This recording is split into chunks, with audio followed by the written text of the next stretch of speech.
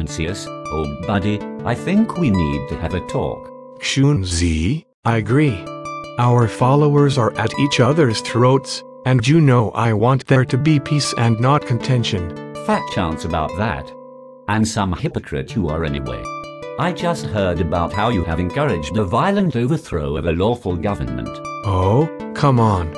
I have only shown my agreement with our ancestral teacher Confucius.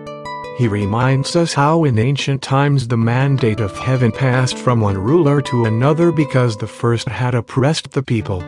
I have only added that someone who does this with high taxes to support wars of aggression ought to be seen as a bandit and not a ruler and what we do with bandits is kill them.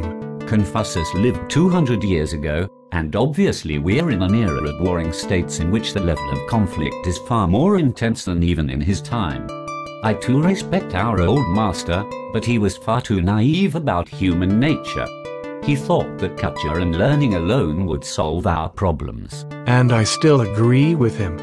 A human being is born good but like a bald mountain that has suffered the loss of soil through erosion, that innate goodness can be lost unless through learning we work to retain it. That should be the primary goal of the state. Fool. Is it not obvious that human beings are born with evil inclinations and only fear of being caught and punished keeps them from a complete disregard of others? It is not education that we should call for but strict laws and effective punishment. No, I cannot agree. That is not how a good father raises his children.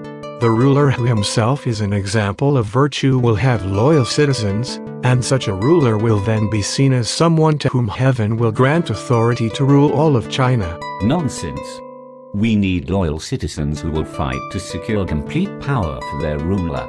As the Book of Tao suggests, it is better that he be invisible but as ruthless as a force of nature until he accomplishes his goals. History will prove me right. Just wait and see. Xunzi, even if you right in the short term I am certain that in the long run it will not be harsh laws and brutal punishments but a culture that respects learning that will make China a unified and great nation.